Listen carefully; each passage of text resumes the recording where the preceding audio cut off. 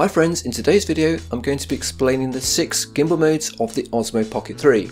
So if you're new to the camera or you simply want a refresher, then this video is for you.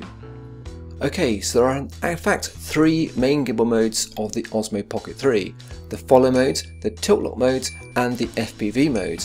So I'm going to explain the differences between them, how to get to them and some situations where they might be useful and then later on in the video I'm going to explain the three additional modes which are more specialist and more advanced. Today I'm going to go to the beautiful New Forest in Hampshire, England where I'm going to be making a video. Alright, let's get straight to it.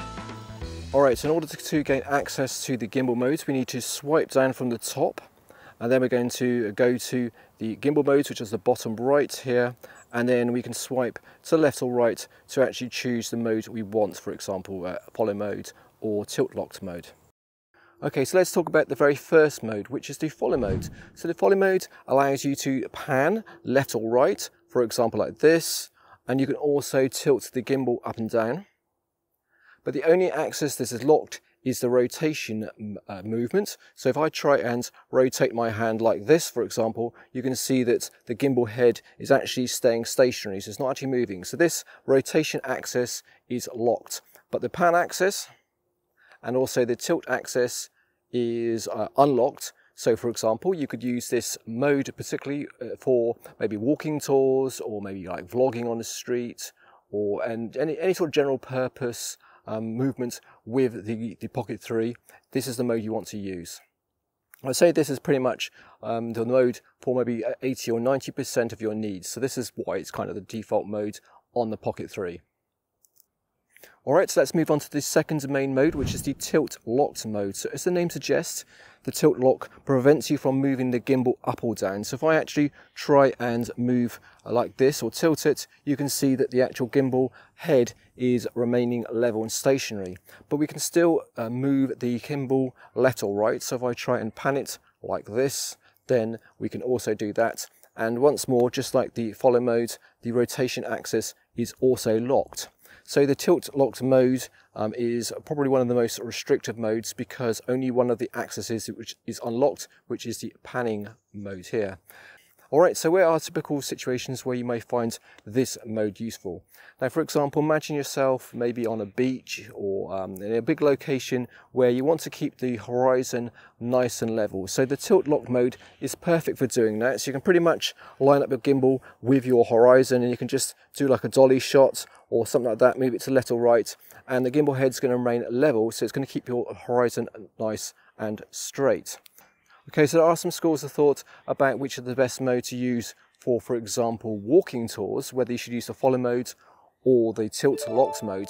And it pretty much depends on some of the actual situations you find yourself in.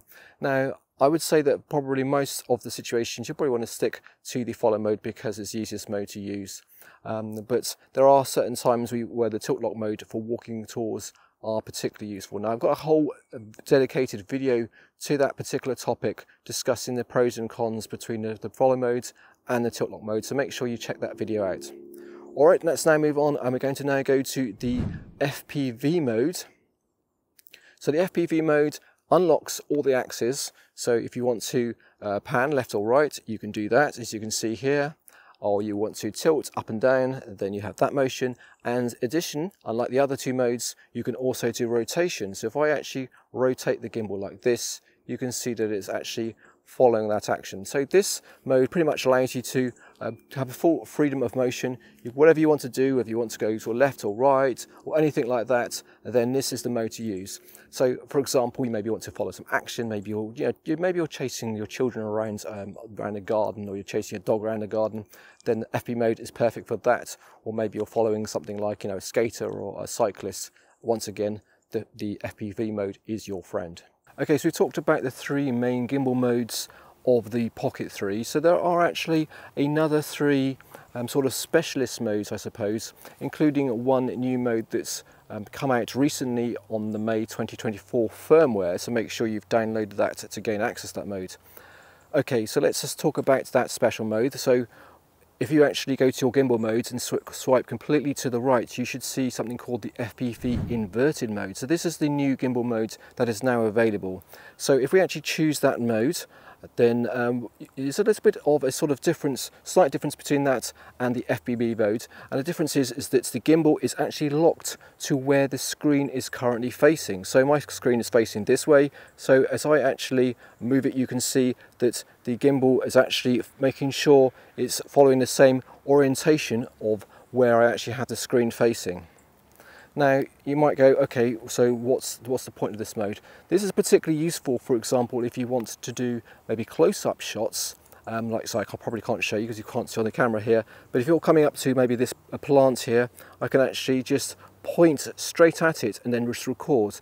Now, when I actually had uh, any, all the other previous modes, I would actually have to sort of um, manhandle my hand or sort of raise it or lower it to try and get the actual uh, thing that I'm recording in shots. So that's very, very uncomfortable. Whereas so the FPV inverted mode allows me simply just to point at an object. Let's say I want to uh, point at my mobile phone just here. Let's say just as just an example, I can simply just point and hit record. And it's nice and easy just to do a quick shot like that. So very, very similar to how you'd use a mobile phone. So that's the FPV inverted mode. Now, let's just pop that down for a moment before I break it. Let's now move on and talk about the other two specialist modes. So one is called the spin shots mode.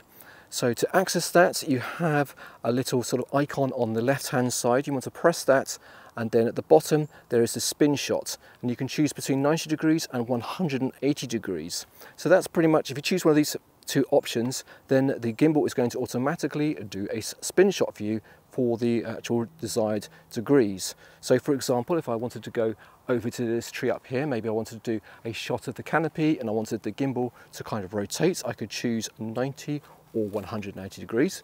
Let's just go and do that now. So let's go over there and I'm going to choose 90 degrees uh, go and pop up here, choose 90 degrees and then I can just hit the uh, go button and you'll actually see the gimbal will start to do a rotation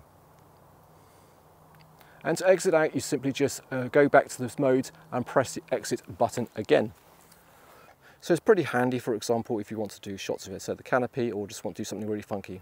So I just need to exit out of that mode, and it's going to hopefully put the gimbal back to normal. No, it doesn't. So it's going to, whoops, now I'm back in vlogging mode, one, two, three. Okay, we're back to normal again. So that is the, uh, the FPV inverted mode we talked about and the spin shot modes. Let's just talk about the very last specialist mode, which is the gimbal locked mode. So as the name suggests, this locks all three axes. Um, so we don't have access to the panning or the tilt or the rotation mode. So if I press and hold the joystick in, so it says a gimbal locked mode, and you could also see a little icon appear next to the battery. And notice if I try and rotate, I can't do that, or I tilt up or down, I can't do that, or I can't pan left or right. So the gimbal is going to remain facing in a direction when I actually press the button. So you could actually do uh, quite nice, maybe like a push forward or a pullback shot. That's particularly nice if you're using the gimbal locked mode. Okay, so that is pretty much all our modes we talked about. So if, as a beginner, I suggest you concentrate very first of all on the three main gimbal modes, the follow mode, the tilt lock mode, and the FPV modes. First of all, make sure you're comfortable with those modes, you know how to access them, and you, you know, go out on uh, and practice with your Pocket 3, making sure you've mastered those modes first of all. And then when you're feeling a little bit braver and you, you know, got, got those onto your belt, you can then start to experiment with the other specialist modes, for example, the spin shot mode and the FPV inverted modes and that sort of stuff. So there we go, that's a very quick, quick beginner's guide to using the Pocket 3 and the modes. I hope it's useful and of course if it is don't forget to give the video a thumbs up and I shall see you soon on another video.